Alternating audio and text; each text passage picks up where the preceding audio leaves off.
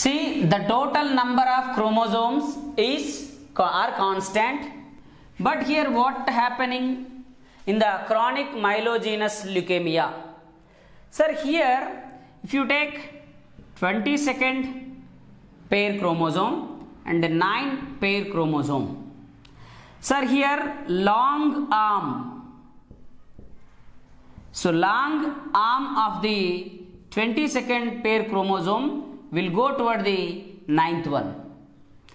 A short arm. What this? What is this? Short arm will attach will be attached to the 22nd. Then the chromosome, this ninth one be, become as a long chromosome and 21 will become as a short chromosome. This is called as reciprocal translocation. What is this? Reciprocal translocation.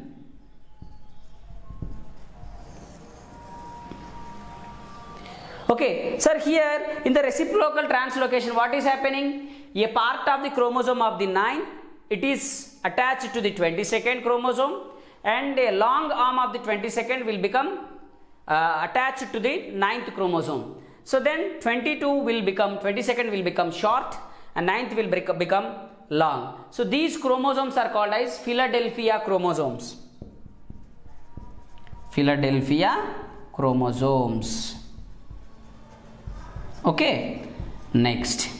So actually, when these kind of mutual exchange or mutual translocation, a reciprocal translocation is taking place. So here then what happens? It leads to the damage of tyrosine kinase enzyme. What is the enzyme? Tyrosine kinase enzyme. So here there is no production of tyrosine kinase enzyme. So this absence of tyrosine kinase enzyme leads to the lack of cell cycle regulation. So actually tyrosine kinase it is an enzyme which regulates the cell cycle.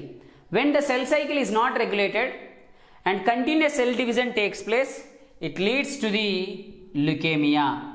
Means it is called cancer. So leukemia means is nothing but what? WBC cancer. Sir, here generally instead of myelogenous we can call it as myeloid. Chronic myeloid leukemia.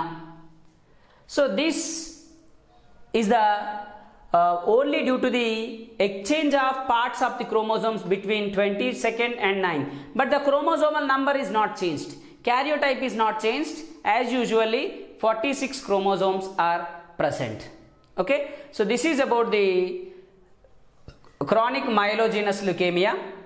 Actually due to the reciprocal translocation of the short arm of the ninth long arm of the 22nd is mutually translocated then ninth chromosome will become long 22nd chromosome will become short.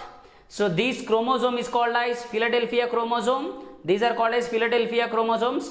When these are exchanged it leads to the lack of tyrosine kinase enzyme. Tyrosine uh, kinase enzyme regulates the wbc cell cycle.